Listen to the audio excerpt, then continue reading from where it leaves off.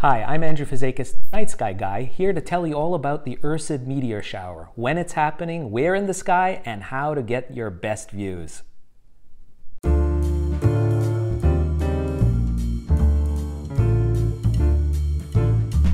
The Ursid meteor shower, you probably haven't heard of it. It's not a big annual shower, it's considered a minor meteor shower, but it appears to come from the Little Dipper part of the sky, and it usually clocks in with about 10 shooting stars per hour, peaking on the night of December 22nd into the early morning hours of December 23rd. Now, there's been many instances of uh, outbursts Uh, with the Ursid meteor shower, one dating back to 1945 and 1986, and small outbursts in the year 2011 and 2014 as well.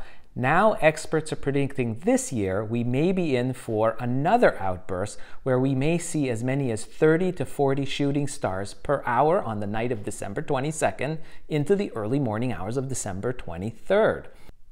Now, because there are only 10 to 15 shooting stars an hour and the timing is during a cold winter season across the northern hemisphere, there's not many observing records around. The sand grain sized particles that slam into our atmosphere to create the Ursid shower were shed many centuries ago from the comet Tuttle. Every year, like clockwork, sometime between December 17th and the 23rd, Earth plows through the debris left behind by this icy visitor. As with other meteor showers, the Ursids are named after the constellation they appear to radiate out from. And in this case, it's Ursa Minor, the little bear. Meteors are going to seem to shoot out from a region just to the left of the bowl of the Big Dipper, which will hang low in the northern sky for mid-latitude observers.